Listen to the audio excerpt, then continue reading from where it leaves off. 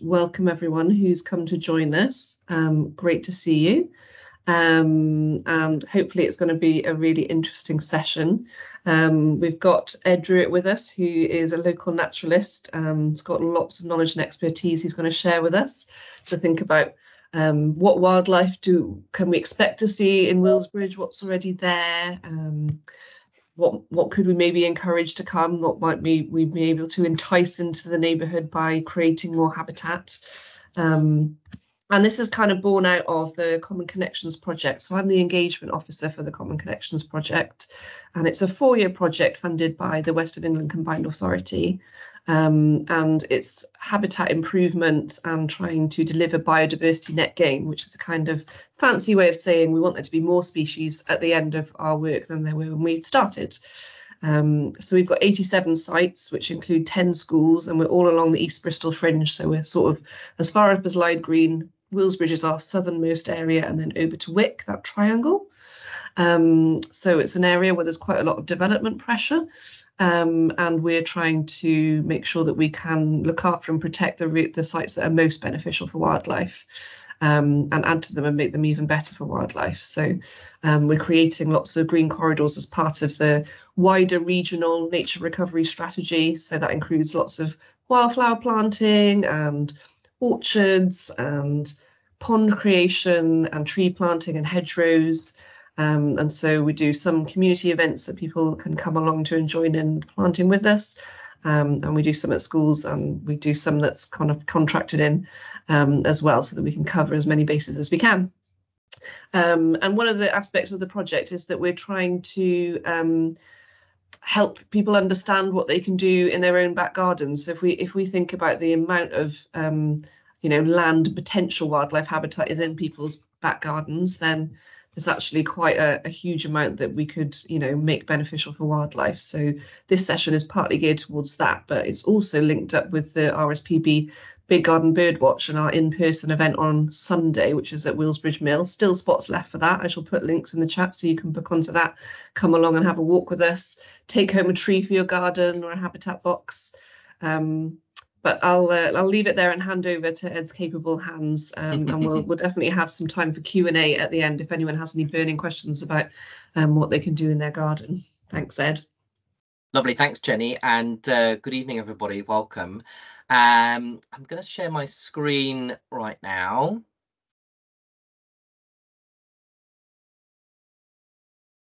There we go. So my name is Ed Drewitt, as Jenny said, and I'm a local naturalist. I'm often uh, um, around Bristol showing people wildlife. And as Jenny said, what I'm going to do tonight is to talk a little bit about the sort of wildlife that we might get around our gardens and green spaces in Willsbridge.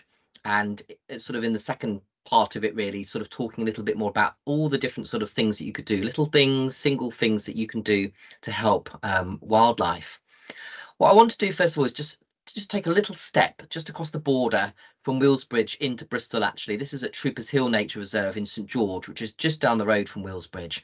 And um, I, I love trying to get a sort of landscape picture. And from Troopers Hill, actually, you can get a view sort of west, southwest from Troopers Hill across towards Bristol.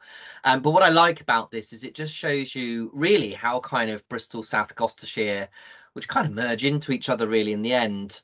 Very green, there is a lot of connectivity, there's lots of trees, and of course there's a lot of urban areas in between. But I think it's quite useful really just stepping away because obviously when you're at ground level all the time, you're not always aware of kind of what's around you, what's above you, and how wildlife, whether it's birds, whether it's bats and insects actually, um, how they are connecting with all these different spaces. And somewhere like St George, sorry, a Troopers Hill is a good place to sort of just get a feel of um, where Willsbridge is kind of connecting up with the with the wider kind of landscape.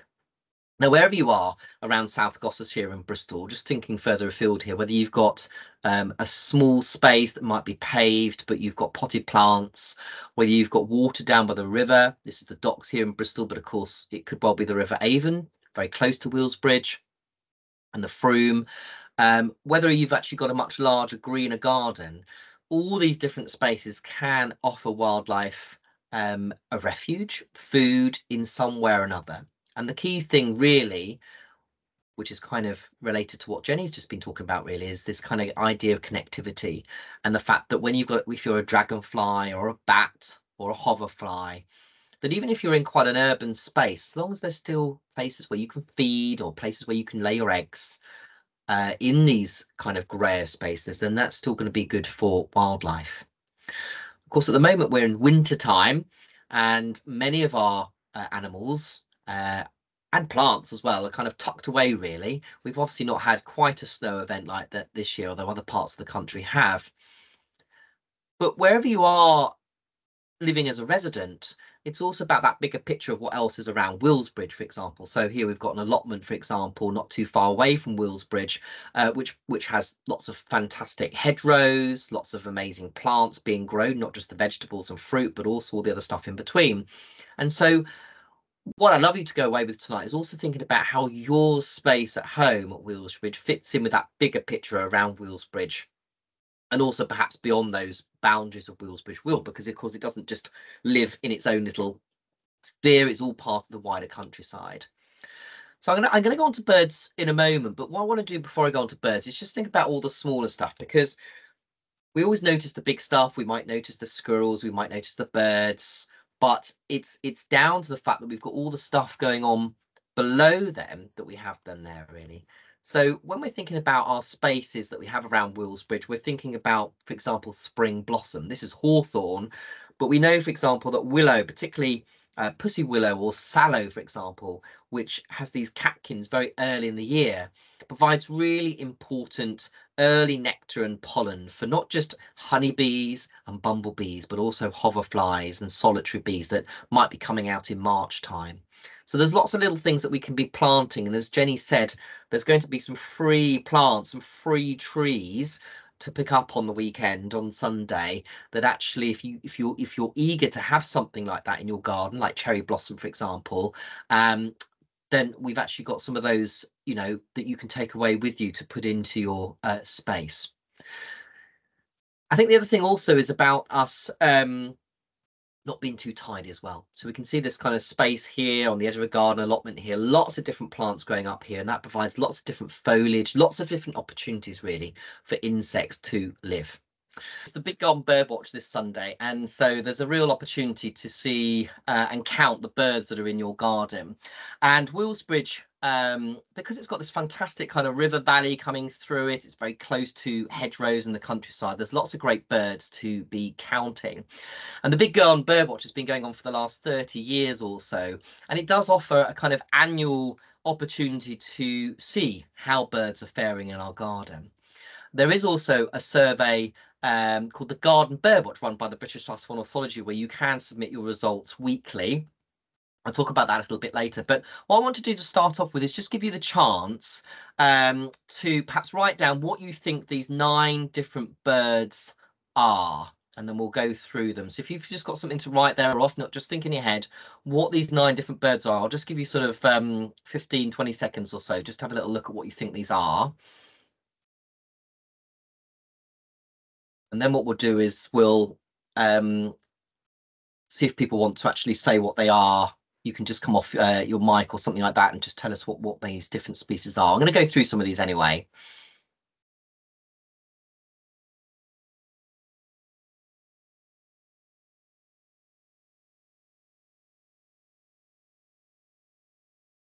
So some of these are probably quite easy, but some of them might be a little bit harder. So does anybody want to hazard a guess uh, or, or, knows confidently what the number one bird is. What's the first bird here? And uh, feel free to come off your mic, uh, turn your mic on if you want to shout it out. Anybody going to have a go? There's a guess on the chat. Charlotte's um, put a suggestion in. What is it? Sorry. Charlotte said, "Is it a wren?" Ah, it is, yeah. So the number one there is our second smallest bird in Willsbridge. This is the wren, exactly. Brilliant. Now, number two should be a little bit more obvious for people. Um, we've got the robin here, of course, a very common bird around Willsbridge. What about number three with a spotty chest? I'll give you a clue. This loves to eat snails in the summertime. and often bangs its the snails against a special stone called an anvil. Anybody know what this one is? Uh, Charlotte's guessing a song thrush. Yeah, this is a song thrush. So if anybody else has an inkling of some of these birds, do feel free, even if it's a guest, to pop them in the uh, maybe the chat. So we've got a song thrush here.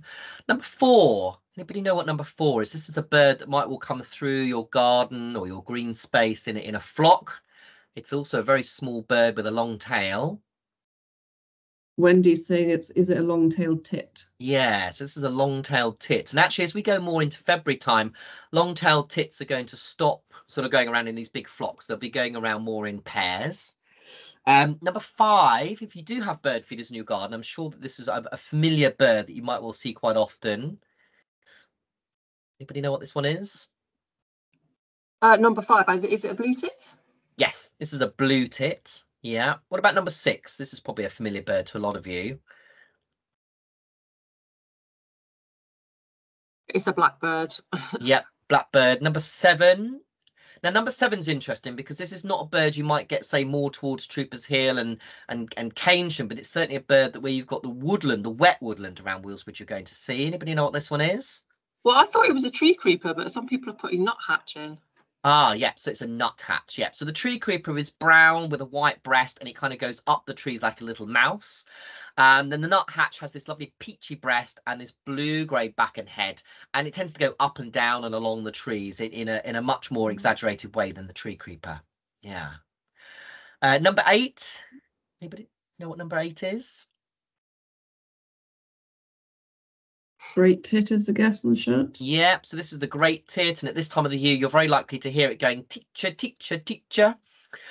And number nine, this is a shy bird, but again, it's a bird we will get around uh, Willsbridge, particularly on maybe quieter mornings when there's not too many people around male bullfinches. yes yeah so this is the male bullfinch there we go there's all the names there.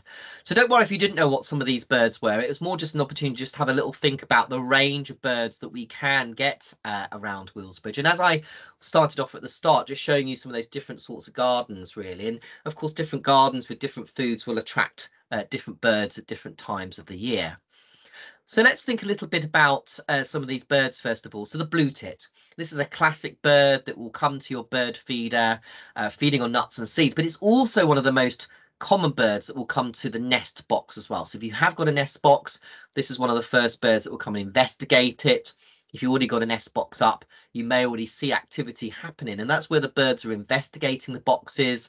It's also where they may come and uh, sleep at night. So even before they start making their nest, during February, March time, they may well what we call roost in the box.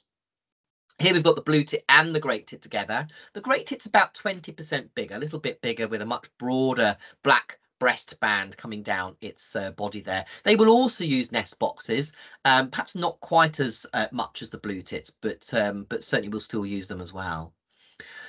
Now, the house sparrow is another interesting bird, and and this is, is so house sparrows are an interesting bird around Willsbridge because they're the sort of bird that down one street you may have a whole flock of them, and down another street there may be none. These birds like scruffy places, they like thick hedgerows, they like the kind of front hedge that somebody might have in their front garden that's nice and tight and, and uh, quite, quite um, mature. And they because they love to socialize in these bushes. And they also like to nest under the tiles on people's eaves and uh, there are particular tiles so there's been some studies done on this in bristol and often council housing type tiles are often best for, for, for house sparrows. And interestingly enough the more sort of expensive housing areas like clifton in bristol um, don't provide quite the right tiling for them to be able to get under. So um, but certainly around Willsbridge, this is going to be a bird where uh, certainly if you're putting seed out for birds, they're going to come down. But they are a flocking species; they're a social bird. Um, so again, scruffy bushes, scruffy hedgerows near where you are are going to be ideal places for the house sparrow. This is the male with the grey on the top of the head, the lovely chestnut brown on the back of the head, and the female there, a bit more sort of straw coloured and brownish, but always chirping away.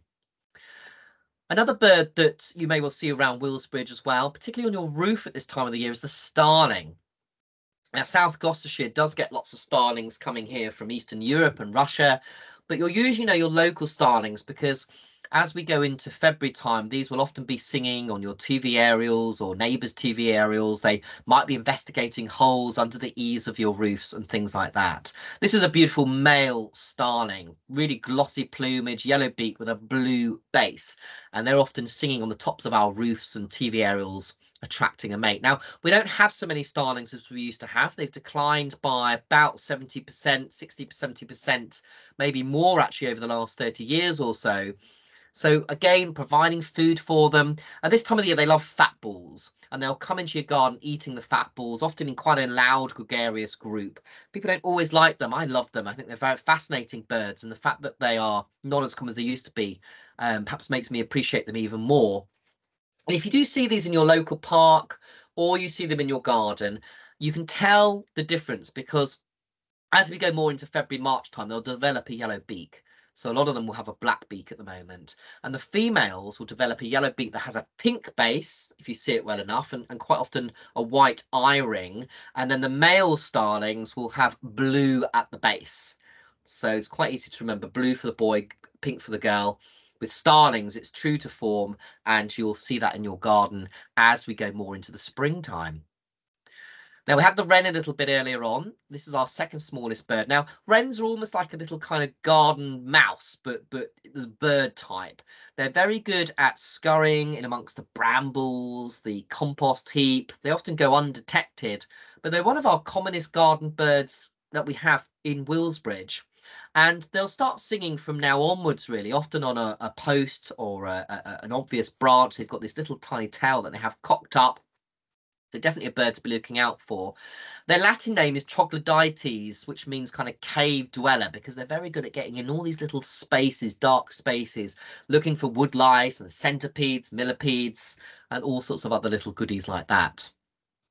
Another bird that you might well spot in your garden this month is the dunnock. Some of you may know this by its old name of hedge sparrow.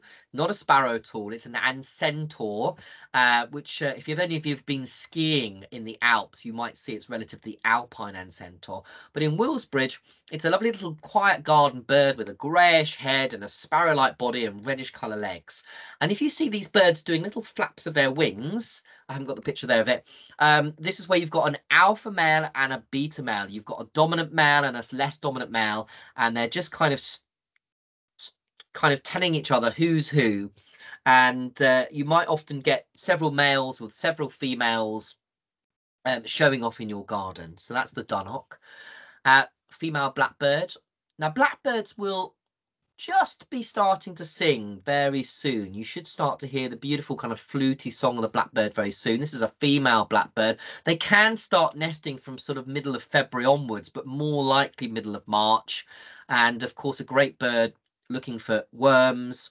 And when it gets very icy like last week, they're often going to be looking for seeds and apples, which I'll come on to in a moment. Here's our lovely male blackbird with the black plumage, yellow eye ring and a yellow beak. If you see what looks like a male blackbird but has a very dark beak at this time of the year, it'll be a young blackbird from last year. It'll be a first winter bird. And here's our lovely song thrush. So as I mentioned earlier, because Willsbridge is along a lovely wooded valley, great place for song thrushes to be singing, great place for song thrushes to be kind of coming out of the woodlands and into your gardens looking for um, titbits. But in the summertime, June, July time particularly, looking for slugs and snails to feed their chicks on. And you may also be lucky enough to see the redwing. This is a bird that comes from Sweden and Norway. We get lots of them coming to South Gloucestershire at this time of the year. They're often feeding on berries, such as hawthorn berries. But when we get into February, March time, particularly if there's not too much frost, they'll be down on the ground feeding on earthworms and other soil invertebrates, as well as apples that you might have out. They're a bit like the song thrush, but they've got a white stripe across their eye, a yellow base to the beak, and they've got this little orange, reddish orange patch just under their wing. As we get into springtime, but even at this time of the year, you may also sometimes spot a very tiny bird about the size of a blue tit, yellowy colour called a chiffchaff. And as we go into March time, you might start hearing the chiffchaffs. They go tick tack, tick tack, tick tack. They start saying their name basically. Um, we do get them wintering in uh, in and around Willsbridge, particularly where there's the sewage works. but you may also sometimes get these in your garden. And as we go into late February, March time, they are a bird that definitely could be uh, looking for insects and flies around bushes and trees in your garden. We saw the long-tailed tit earlier, and, and Whereas you might see blue tits and great tits coming to your garden all day long, with long-tailed tits, they tend to come in a flock, often once a day, maybe in the morning, maybe in the afternoon, and they go roving around your neighbourhood, basically looking for food. And as we get into February time, they'll start to break off into pairs and make their nests. And they make these fantastic springy nests out of lichens and mosses, often in bramble bushes. And uh, and if they fail, um, then actually they may go and help brothers and sisters or aunts and uncles in other nests nearby, which is rather quite cute. Another bird to look out for as well uh, is the smallest bird in Britain, the goldcrest. This is even smaller than the wren, often quite discreet, but often around evergreen trees, holly, yew, pine trees, leylandii trees you might have in your garden. Very squeaky little birds, very, very small, with a little yellow crest so definitely worth looking at. You can see they're much different to the wren. The wren is a very brown bird with a cocktail, whereas the gold crest is very small, discreet, often just fluttering around, can be quite tame. So definitely a bird to look out for. So just a little selection of some of the birds there that you could spot in your garden. And with the big garden bird watch coming up this weekend, what sort of things can you be putting out for the birds? Particularly when we have the cold weather like we had the other day, but even so, there's still not as much food out there as there would be in the spring. So on the top there, you can see there's lots of apples, grapes. On the left-hand side, we've got some mealworms. I'll go through these in a bit more detail. And the greyish seeds there are sunflower hearts, a little bit more expensive than, uh, or a bit more expensive than sunflower seeds, which can leave a lot of mess, but really liked by the birds. And birds are very good, just like you and I really, of needing and wanting a, a varied diet. So we want to give birds lots of different foods really, one to suit different species that feed in particular ways, but also so that they can actually get a good different diet. I must add that even when you do put food in your in your garden, birds are very good though at still going off and finding natural food. So I'm often seeing blue tits in my garden, still trying to feed naturally, great tits still going off to look for spiders and snails and things like that. So often foods in our gardens are supplementary. It's not always a case of all or nothing unless we get really cold weather. So on the top left, we've got peanuts, which nuthatches and woodpeckers like, sunflower seeds and sunflower hearts, which are loved by the tits and the finches, the high energy mixes, which are liked by the sparrows, and the mealworms are loved by your robins and your wrens and your blackbirds. And then the fat balls are also liked by woodpeckers, nuthatches, and, and also starlings. And, and so many of these things you can get from local pet shops. I'd be very careful of some of the cheap bird foods though, because quite often they can have rolled dried peas, rolled dried sweet corn, and uh, they are often only really good for pigeons. And uh, I'm not dissing pigeons. I love pigeons, but they don't tend to provide the food that your smaller birds need and want. So you're wanting to look for high energy mixes that have got a nice mix of small seeds in them and sunflower seeds that are going to provide the food for those smaller birds. Of course, around Willsbridge, you're going to have grey squirrels, and grey squirrels are very good at destroying bird feeders. So it's often quite good to look for squirrel proof feeders that have a kind of netting around them, a mesh like you can see here, that allow the birds to get in but stop the squirrels getting in, certainly for uh, a certain while. Sometimes they can get in, but uh, generally a good thing to think about. This was last week in my garden. I've actually got something called a squirrel buster. They're a bit more money. They're about 60, 70 pounds, but it's for me, it's been all worth that money because instead of continuing trying to buy these feeders that the squirrels destroy, I've had this one now for seven years. And what it is, is the squirrels put their weight on the lower part of it to get to the food. And there's a spring which pulls the part of the bird feeder down over the food and they can't get it. And they only try it once or twice and then they don't try again after that because they realize they, they can't get to the food. This is another one that I've got, which is a slightly smaller one. Again, when the squirrel sits on it, it goes down. But you know, not everybody's going to be able to afford these feeders, but there are squirrel proof feeders which are much cheaper and still do a good job. Ed, we This had a question um, Yeah. you were uh, uh, AWOL um, from Angela, which was um, she was saying that she likes to feed the birds, but um, they have a lot of bigger birds that scare off the smaller ones. So she wanted some ideas on how do you feed all the different ones.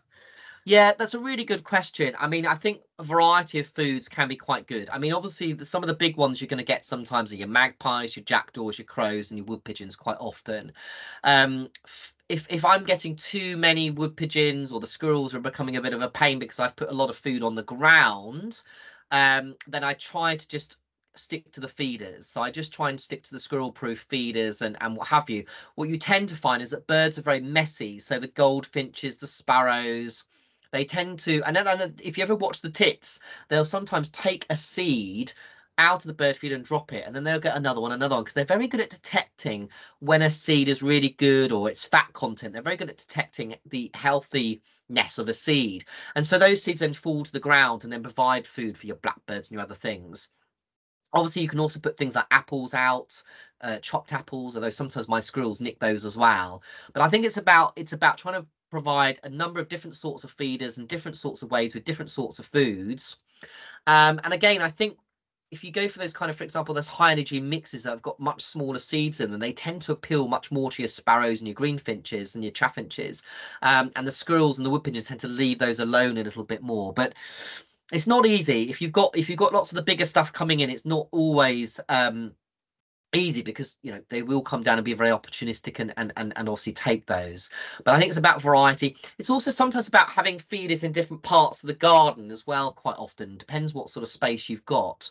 But if you can spread things around the garden and have some things under the bushes or tucked away a little bit more then the likelihood is, is that that food's going to go to the perhaps the species you want it to go to this is my own garden here. This is back in the summertime. So I've got my bird feeders here, but lots of different spaces for wildlife in lots of different kind of layers and, and what have you. There's a few tits and things just coming down to the bird feeder here. At this time of the year, apples are a great food to put out for birds. Uh, your grey squirrels will eat them as well, but certainly blackbirds, redwings, song thrushes will appreciate apples. And because they've got a high sugar content, they tend to freeze at a much lower temperature than the soil does. So they tend to stay quite palatable and easy to get into for the birds. Also, just going back to your question about catering for different species, this is a, a kind of stump I've got in my garden. And during the cold weather last week, I was putting some mealworms and sunflower seeds on there. It's quite close to this uh, big mesh of, of cut uh, branches I've got. So quite good for things like wood mice and some of the little birds and, and easily uh, those mealworms went, you know, quite unnoticed to anything bigger. Water is also important for birds and other wildlife too. And if you don't want to or can't afford um, a nice bird bath like these two, then this is what I put out last week. Just one of my uh, kids' kind of plastic uh, food bowls. This one's been out for a while, you can see, but it had been upside down for a bit, so I just put it out. And even though it was getting a little film of ice on top, when something's plastic like this, it's obviously much easier to break and get the water out of. Whereas obviously something that's concrete or ceramic, uh, if you start bashing it with a hammer or start putting hot water into it, it'll just crack and obviously break up. So a plastic bowl like this is cheap and easy, and it means that you can easily replenish the water very quickly and easily for the birds. But water is important not just for drinking, but also for washing. And you'd be amazed at how birds will have a really good wash on a cold, frosty day to keep their plumage in tip top condition so they can keep warm. At this time of the year, we're also thinking about bird boxes too. This is a blue tit box, um, which actually has got some baby great tits in it. But bird boxes, the reason we talk about bird boxes is because even around the River Valley around Willsbridge, many of the trees won't be very old. Even if the oak trees are 100 to 200 years old, that's quite young for an oak tree. Oak trees won't start getting their holes and their hollows really until they're three to 400 years old, unless, unless they've had some branch trauma. So most of our trees that we have around Willsbridge and South Gloucestershire are just simply not old enough to have enough holes for bats and birds and things like that.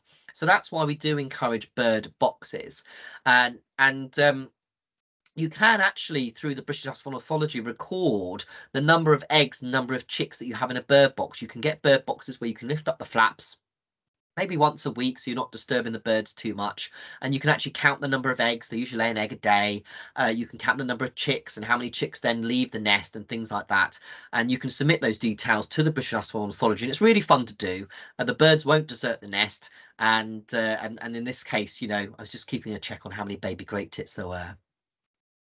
This is another box. I think this was one with some baby blue tits. And actually, this has got lots of rabbit fur lining the nest here. But putting out hair, dog hair, sheep's wool, um, and things like that are great things that the birds can line their nests with. Here's some sheep's wool I've got a little ceramic um, thing really, which the birds take. Uh, I've seen siskins taking this, great tits and blue tits, goldfinches taking this to line their nest. This is my or part of my garden at the moment. And what I've done is one thing we often encourage is even if you want to still have uh, a mown lawn, is is to perhaps put a bit of it aside for wildflowers. And not necessarily just simply letting it go, but um, for example, um, the Avon Wildlife Trusts grow wilder. Um, I've just forgotten the name, Jenny, of of uh, what's it called? Um, is it Grow Wild? No, it's Grow Wilder. Yeah, Grow Wilder's right. It is Grow Wilder. Yeah. yeah so near Stapleton have got a fantastic nursery where you can buy little plug plants of wildflowers that we would get in wildflower meadows. And although this is looking very untidy and scruffy at the moment, this is just perfect. I've got a mole which keeps putting up little mole hills, which is great for um, seeds to germinate. These leaves that are left here are going to go down into the soil for the earthworms and enrich the soil. But in this little patch of lawn that I've planted up with wildflowers, there are also wildflowers such as knapweed and scabious and um, uh, what else we've got here? Sorrel, bird's foot trefoil, which provide lots of nectar. Um, behind where I've taken the photograph, there is still some lawn. Uh, lawn is good for ants. It's also where my children can still play and we can still sit and enjoy the garden. But what we've done really is is provided um, some space for nature on our lawn uh, as well. And this is kind of what it looks like in the summertime. It becomes this amazing jungle of wildflowers, providing lots of different foods. And just like the winter food, if you have lots of different varieties of wildflowers, whether they're ornamental or whether they're kind of wildflower varieties, then you're going to provide lots of different foods for those bumblebees, those hoverflies, those moths at night. Those in turn are going to provide food for your slow worms, for your birds, and for your bats. Uh, so here you can see there's some nice scabious here, for example. Uh, we've got a little bit of, we've got a small apple tree here. There's some knapweed in the background. This is knapweed just in front of us here as well, just about to flower. Um, so lots of opportunity here. And it's amazing how it transforms from this kind of ground level uh, meadow to this wonderful kind of jungle in the springtime.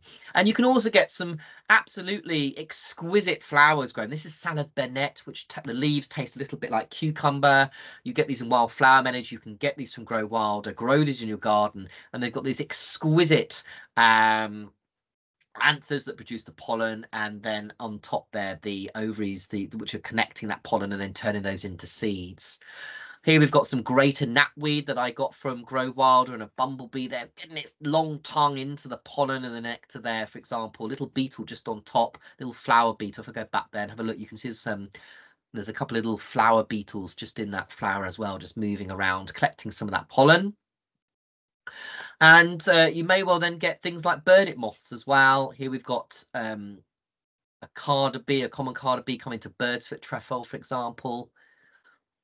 So all these wonderful things will come to your gardens around Willsbridge if you provide them.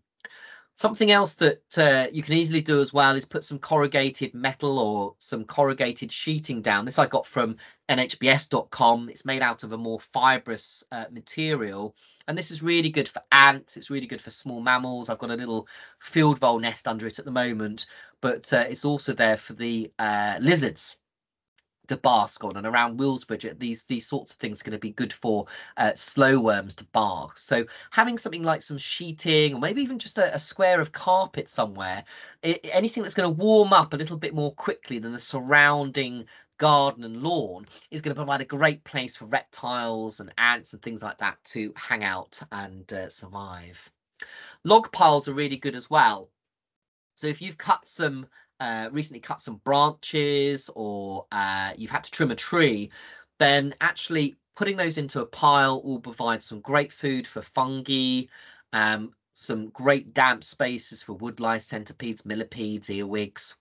Um, but also you'll start to see over six months to a year, lots of holes appearing where beetle larvae uh, are living. They're feeding and chewing on those uh, logs and then coming out as adults, which of course then provide food for your birds, for your bats, uh, and your other creatures that are living in your garden.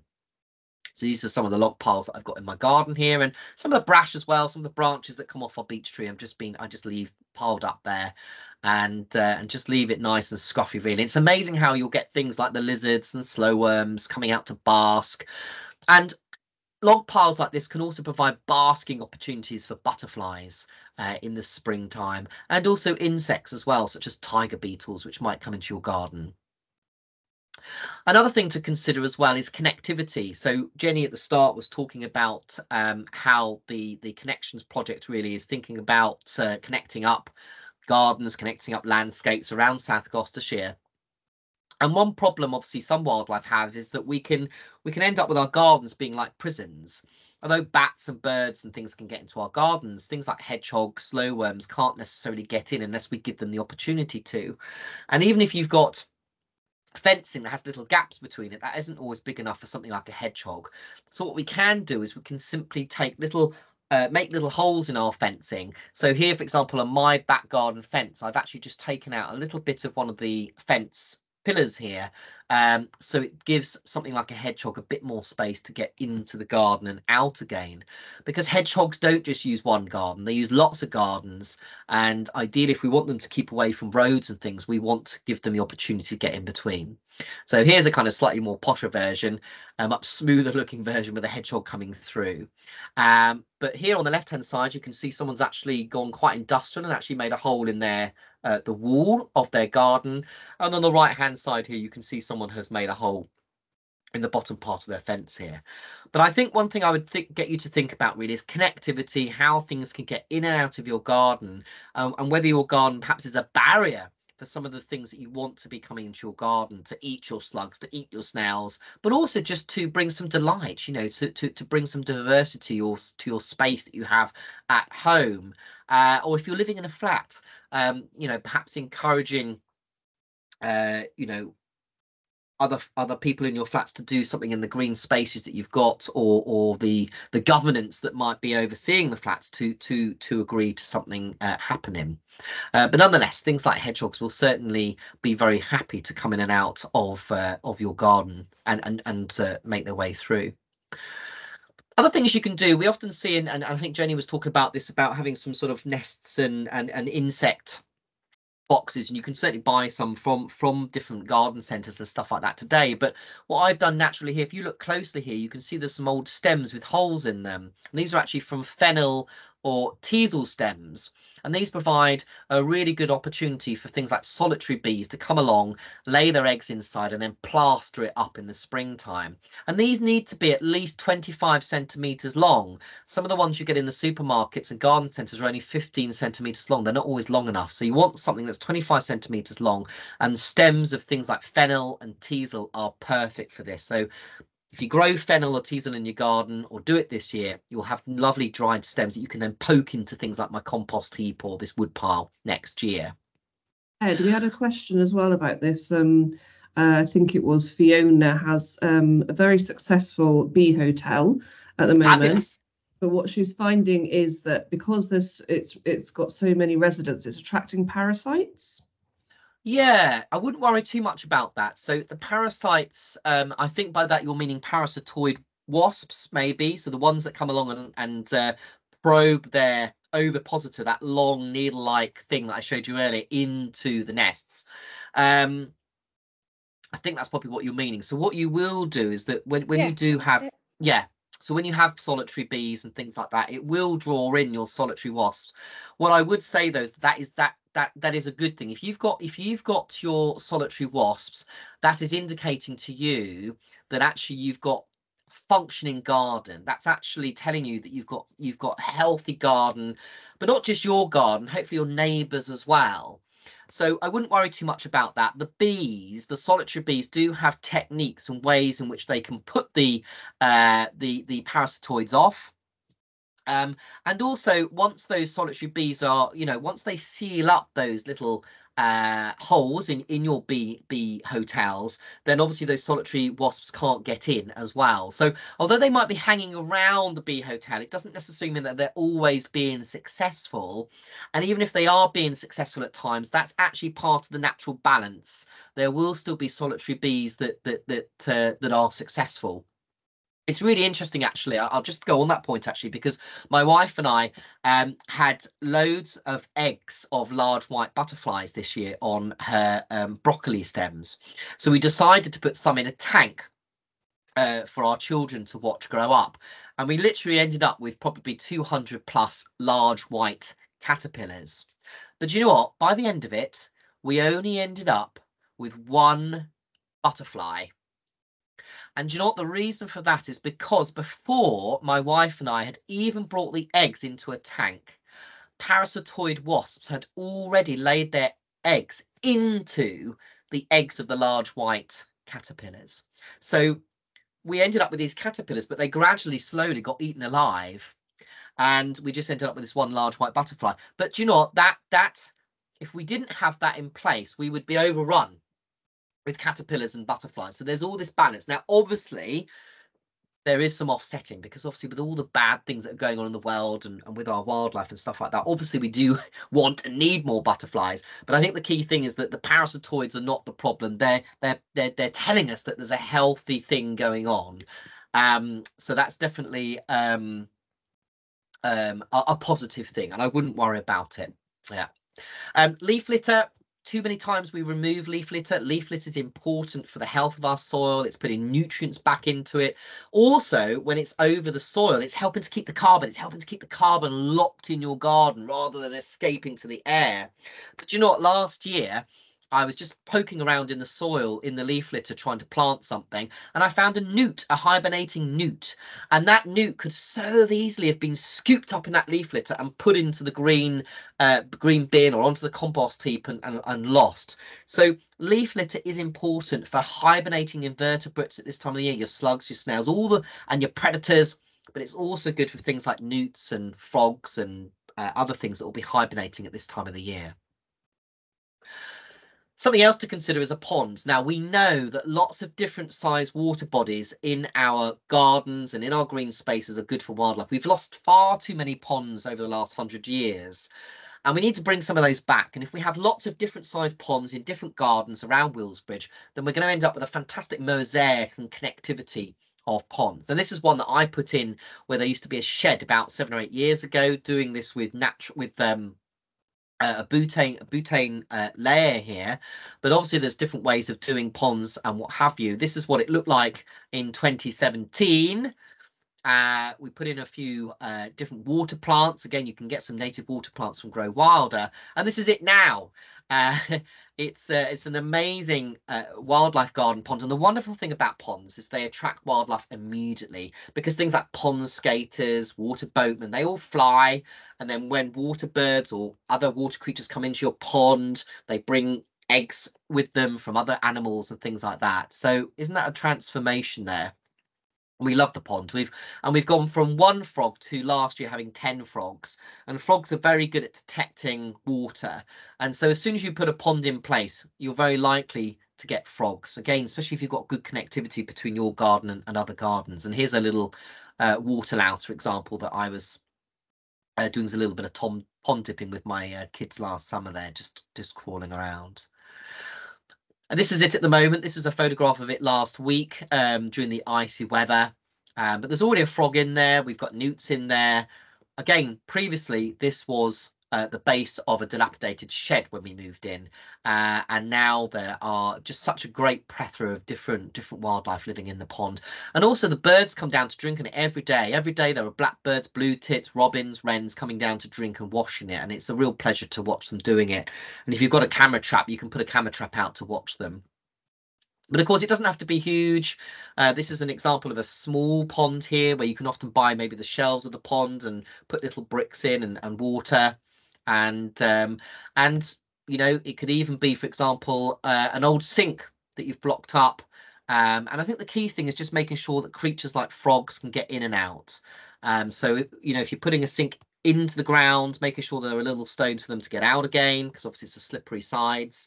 Um, or if it's going to be just sat in your backyard, making sure that there are ways in which creatures can get in and out uh, and what have you. But uh, bring water to your garden or your green space and it will really transform what else is coming to your garden.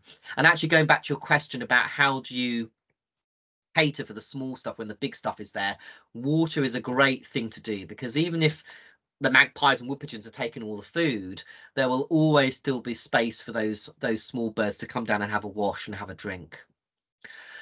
Now, something else that can be very simple if you've got a dog is rather than using um, something like spot on or any chemicals on your dog hair, which basically is often containing neonicotinoids, which are lethal to insects and bees, but also lethal to watery invertebrates, um, is to actually get flea tablets and things like that. So these days, we shouldn't be putting stuff onto the fur of our cats and dogs. There are more environmentally friendly and better for your animals and you really ways in which uh, these animals can actually swallow something that helps to get rid of fleas and things like that. Um, the reason I mention this is because it's it's a quick win because if you have a dog and it goes into the river at Willsbridge Mill or it goes into local ponds, if it does have spot on or something like that on its fur, that washes off into the water body and will affect obviously the water life there.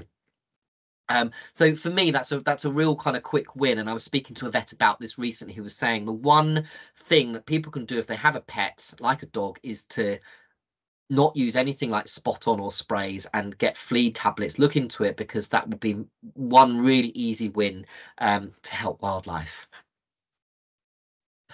Right, I just want to finish off now with uh, just a few more shots of pollinators. So as we're going into February, March time, queen bumblebees, honeybees, solitary bees are going to be starting to come out. And if you have willow or sallow in your garden, this is a really fantastic plant to have because the early catkins provide them with some really good early food.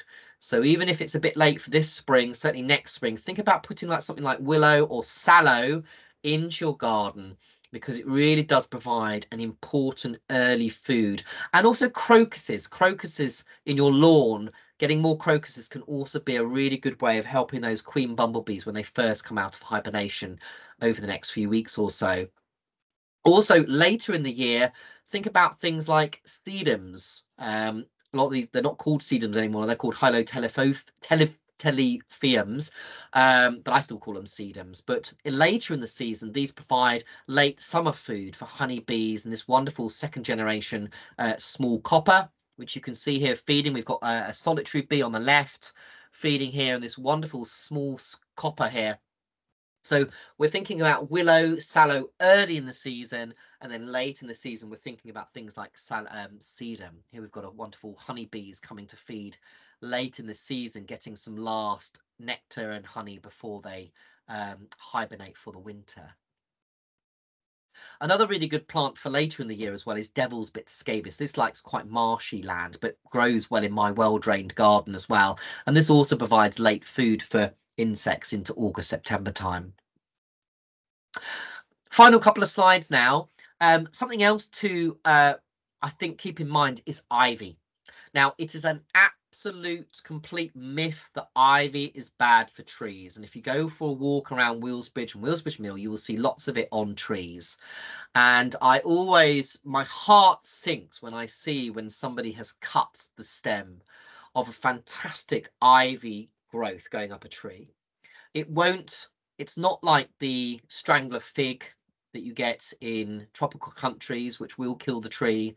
Ivy will use the tree as support, but it's not killing the tree. It's one of our most important um, sort of woodland habitats on trees. This is actually looking into the hollow of a tree here which could easily be used by hibernating bats and owls. This was actually an owl roost here. But ivy is really important. And at this time of the year, ivy is developing its berries. And these produce berries that, that provide important food for birds, not just now, but particularly in March, April time.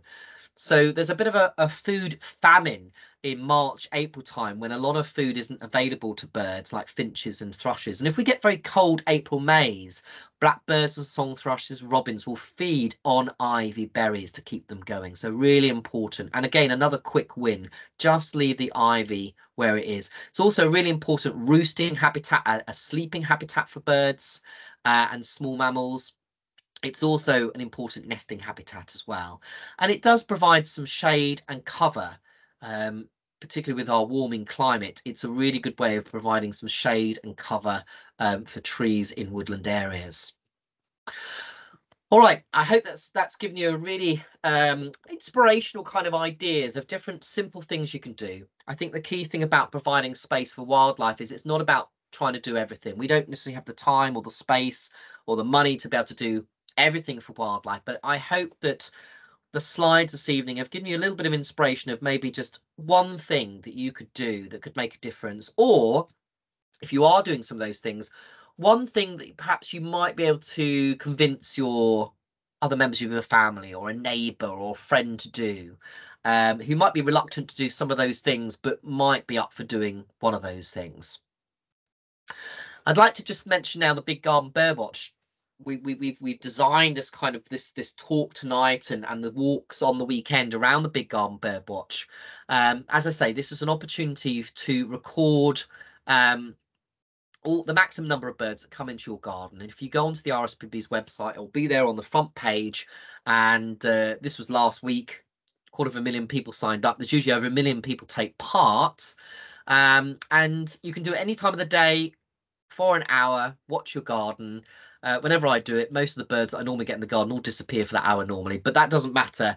And I think the other thing is that even if you only get one bird or no birds in your garden, that is just as important. So please, please take part, um, even if you don't see anything or you only see one thing.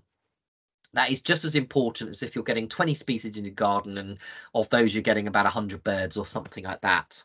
So please take part. And if you come along on Sunday to either of the walks that we're doing, at 11.30 and 12.30, then you've got the chance to walk around the area at Willsbridge Mill with me and we can do some watching and we can do some listening and uh, give you a chance to um, have a go at spotting some of these things yourself. If you like the idea of watching your garden birds and recording them and you're not already doing this, then you can join the British of Ornithologists Garden Bird Watch. And this is where you can actually count the birds in your garden weekly. But what's really fantastic about this is you can also record the mammals in your garden. You can record the butterflies, the dragonflies, the amphibians in your garden. If you see any ill birds in your garden, you can also record that. So look the Garden Bird Watch up because this is something where you can record the birds in your garden weekly, uh, either just as a tick you've seen them or the numbers that you see as well and if you can't do a week you just leave it out um, you just you just you just say that you haven't done that week so it's, it's you know you don't have to do every single week it's just um, but it's a great way of contributing all year round to what's coming into your garden well, I hope that's been inspirational. I hope it's been interesting. I hope it's given you some ideas.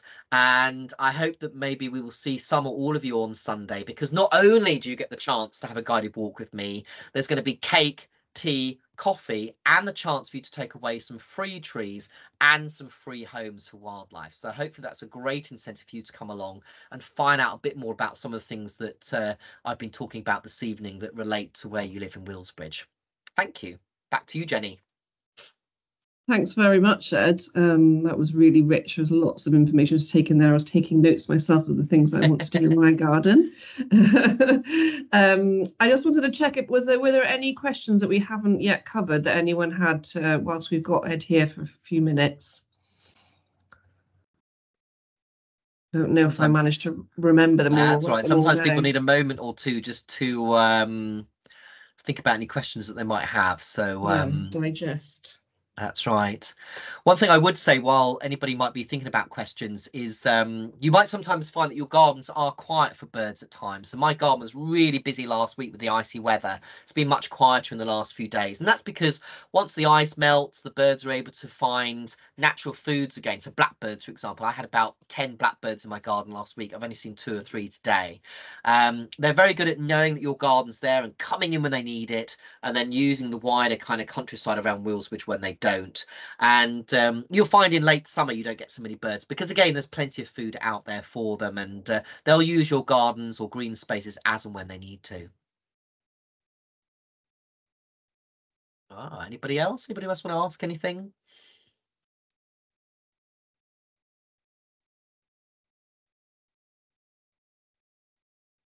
Icon. I wondered, Ed. Um, I don't know whether we missed any slides before your um, your number where we were guessing the birds, and you were talking about the insects a bit more. Was there any kind of key bits that you think we should know about that? Right. Yes. So some of the uh, when I was yabbing, uh, talking for ten minutes, and had no audience without realizing it. Apologies. Um, what I was really getting at really was I was talking about the fact that we. It, I always like to try and think about the bigger picture really. So when we have our um, birds come into the garden, it's thinking about what makes a garden healthy. So despite you know thinking perhaps thinking a bit less about providing the artificial food for the birds and how do we provide space for wildlife in our garden. And what I was trying to get at was thinking about the smaller stuff lower down. So if we provide the flowers, if we provide all these different kind of scruffy places that I was talking about, then we provide homes for lacewings and ladybirds and earwigs and those parasitoid wasps that I was talking about. Um, and these are all predators of things like aphids and caterpillars, for example. So if you have hoverflies coming to feed on nectar on wildflowers in your garden, hoverflies are really good at laying their eggs next to aphids, for example, and those grubs will then hatch out and eat your aphids before you spray aphids, just be tempted to not use sprays ever again. Because if you have aphids suddenly on something, I can absolutely guarantee that if you hold your nerve for two weeks at the most, those aphids will become shells. Because what happens is, is that if they don't get eaten by the hoverfly larvae or ladybird larvae, a parasitoid wasp, a tiny parasitoid wasp comes along and lays its eggs in all of those aphids. And suddenly, overnight, after a couple of weeks, they all get eaten, and you're just left with a sh with shells of these aphids. I can absolutely guarantee you it. So, really, what I was talking about was the fact that, you know, to have the big stuff in your garden, you've got to nurture the small stuff. So by having little scruffy patches, leaving a leaf litter, leaving a little bit of bramble here, having your dandelions as you know providing as much nectar as possible is going to nurture the the predators the ladybirds the lacewings it's also going to provide food for your moths. Um, so i was talking about the fact that moths are one of our most important pollinators. And if you've got dandelions coming up over the next week or two or the next month or two sorry leave them because dandelions along with sallow provide some really important food for our insects just as they're emerging. And then the seeds of the dandelions provide important seeds for birds like goldfinches greenfinches and bullfinches during that famine during april time. So we leave our dandelions and we get all the solitary bees and the bumblebees and the honeybees and the hoverflies feeding on them in march and april time followed by the goldfinches and the bullfinches and the greenfinches feeding on them uh, a few weeks later. So it's all about nurturing all of that small stuff. And then if you've got that small stuff you're then going to bring in your birds. So even during the summertime when i've got artificial food out there's still plenty of insect life to feed the um, to feed the birds to provide invertebrates for your hedgehogs um, slow worms providing slugs for example for your slow worms and things like that um, so I think I was I was talking about slow worms as well, and the fact that gardens around South Gloucestershire and Willsbridge are very good for slow worms. Slow worms like scruffy patches in your garden. They come out at dusk and they feed on your slugs. So it's all about having the right foods and the right variety. And if you've got a good balance in your garden of parasitoids and predators, then you won't have a slug problem. You won't have a snail problem. The only reason people have slug and snail problems is because there is an imbalance. And even if you may not be using chemicals in your garden, it might be that neighbours are and um, if you can encourage neighbours to also garden wildlife friendly and not use chemicals, for example, then then over time you will find you don't have a snail or slug problem because the hedgehogs will eat them, the song thrushes will eat them, the slow worms will eat them, and parasitoid wasps will lay their eggs into the slugs and snails and also eat them. And all and, and all these things disappear. Your parasitoid wasps disappear when there are sprays being used, insecticides are being used. So really that first part you're missed in a nutshell was all about nurturing those those predator, those prey invertebrates in your garden. Because if you get those right and you get your soil right conditioned with all your leaves and everything else then you're going to get all the bigger stuff coming to your gardens Wow. and and Jenny says there very rightly so that the Royal Horticultural Society has rebranded weeds as plant heroes. I don't use the word weed. The word weed is a subjective word and it doesn't have to be used. There are other words you can use instead. Um, you know, weeds are are just is just the name of a plant that is in the wrong place. We think is in the wrong place, and anything could be a weed really, but I don't use the word anymore. Um, and uh, and I think that's great. They are plant heroes because actually most plants we regard as weeds in our garden are in fact some of the most important plants for um, our pollinators and for feeding our predators that actually are going to make your gardens even healthier. I think we probably ought to there's round what- it off there. There's one more one question in the chat from Charlotte, which is um, about her allotment. So, is there anything extra they can do? They've already got a small pond and a bug hotel. Wonderful. Well, I think, I mean, I think with the bug hotel, um, again, you know, if you are growing fennel, if you are growing teasel, you know, making sure you've got those 25 centimeter long uh, tunnels, really, because some of the bug hotels can be uh, a bit shorter than that. So just making sure you've got that going on. Um, you're probably probably doing complementary planting, but but you know where you are growing vegetables and things, having those complementary plants like nasturtiums, but trying to get maybe wildflowers um, in there, getting your bird's foot trefoil, um, you know, getting in your knapweeds, greater knapweeds, getting your in there. So having patches of those wildflower plants, for example, from Grow Wilder, so that so that in a you know because things like nasturtiums and marigolds are lovely, but marigolds, for example, aren't great for wild bees and hoverflies because they've got quite a complicated flower head. Um, so again, if you are getting flower heads, get ones that have got very simple flower heads or are native. The more complicated a flower head becomes with multiple petals and stuff, um, then they're often not much good for our pollinators because they can't get into them. So the more native something is, and the more simpler it is for an animal to get in and feed, um, the better it's going to be. Um, yeah. Right, I think we better um, stop stealing your time, Ed. You you've very patiently repeated yourself from having done the talk and then started doing it again for No, us. that's my pleasure, and I'm just apologise that I I um I just thought everything was fine, so I apologise that you missed some of that. But thank everybody for staying on, and I really hope to see some of you on on Sunday. Yes, fingers crossed. Do book on, guys, and do register your gardens as well. The links are in the chat, and I shall send them out with an email tomorrow morning as well. So hope to meet some of you on Sunday. Thanks, Ed.